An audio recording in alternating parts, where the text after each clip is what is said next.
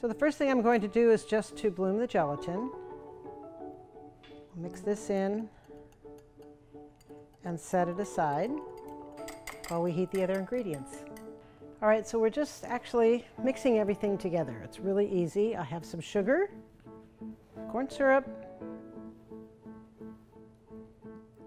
This glaze is so easy. Um, just have to remember to use it at room temperature. And you can add any color you like to it to make it whatever you want it to be.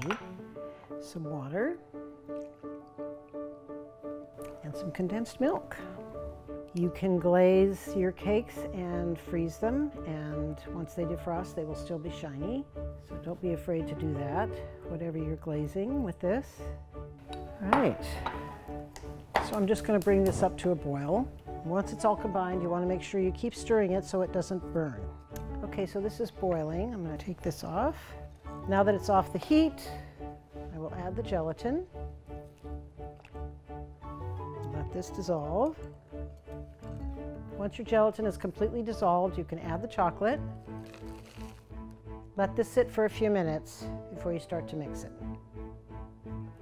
Stir your chocolate in until it's completely dissolved. You can use a burr mixer, hand mixer if you have one.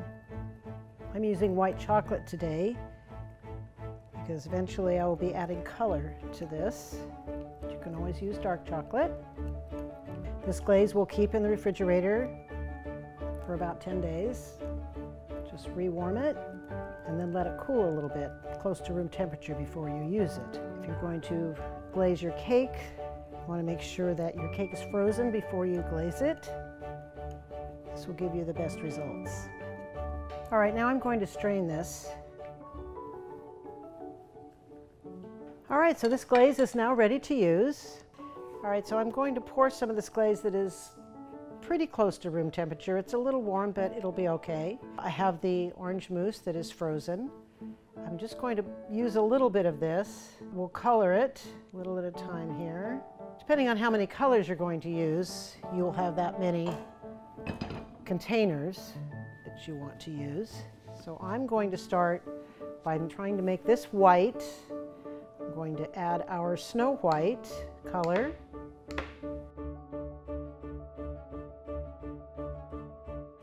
All right, so this is white, and I want it to be a marbling effect.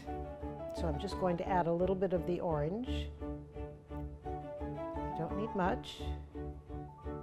A little bit of folding. I don't want to color the whole thing. And now I'm going to add a little bit of red. That orange is the natural orange, by the way, and this is just red.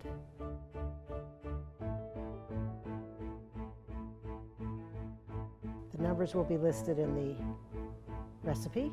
All right, let's see how we do.